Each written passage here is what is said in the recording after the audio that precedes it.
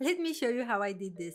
Find a good photo and import it to Procreate. Then turn on the animation assist and set the photo as the background. Press add frame and start drawing this little shape. I'm using the Studio Pen brush and the dark blue. Add a new frame and draw a bigger splash shape and repeat the step one more time. For the fourth frame, draw a shape that will cover most of your photo and for the fifth one, fill the whole layer with color. Now go to the layer menu and put each layer on the hard light mode. After that, alpha lock each layer, then select a texture brush and just draw random strokes to add some details.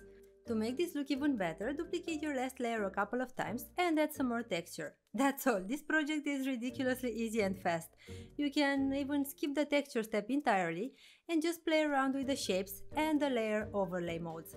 Now set the frames per second at 4 press play and enjoy your new amazing animation. And if you choose to recreate this, don't forget to tag me because I always love to see your works. You know that.